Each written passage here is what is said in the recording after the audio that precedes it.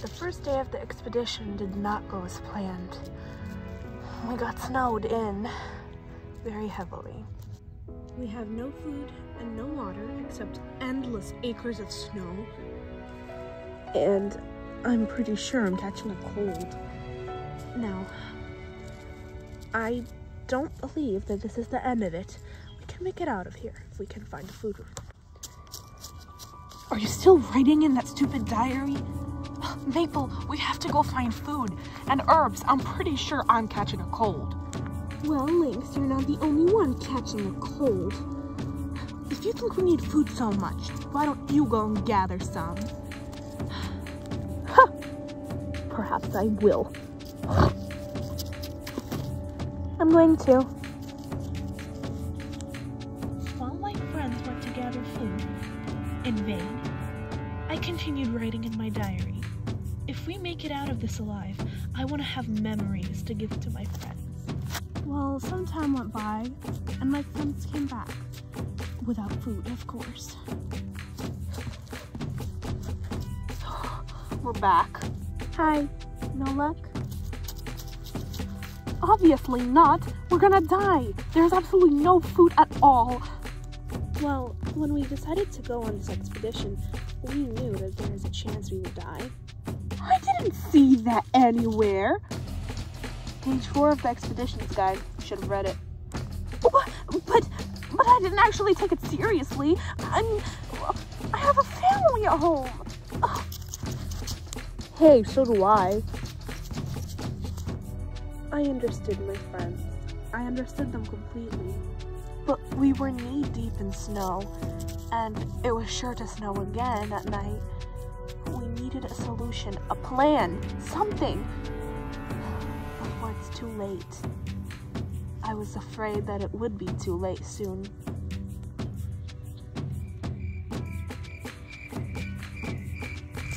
Oh, it's so cold. I can't sleep like this. Why did I ever volunteer to come here? Dear Diary, it did end up snowing during the night, so the first thing we did next morning was move out. After a whole morning of traveling, we surprised ourselves by the discovery of a big ice cave. It's an ice cave! Should we go inside? Maybe it'll be warmer. Even if it'll be warmer, supposedly, we'll still die out here. We should have never come here. Oh, this was not my idea. That's okay. Come on, let's go inside.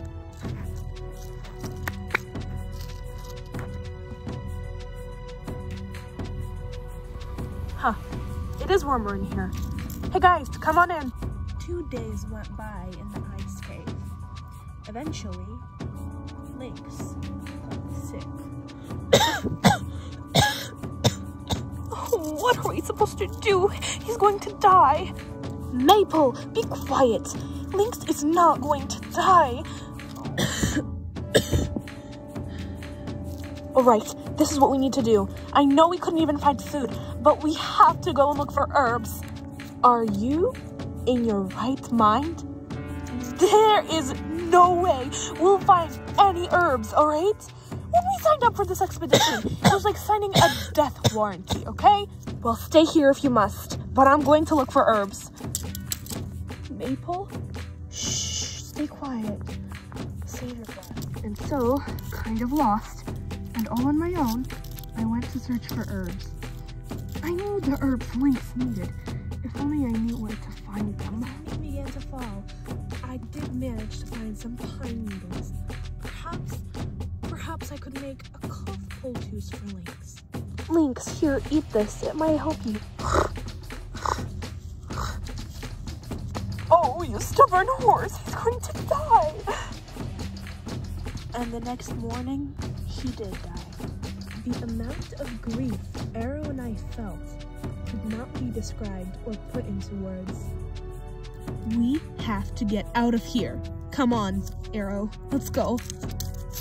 And so, with heavy hearts, we left the ice cave, along with one of the best friends I have ever known. The road before us was uncertain, but one thing I knew for sure. My friends and I would never be separated again.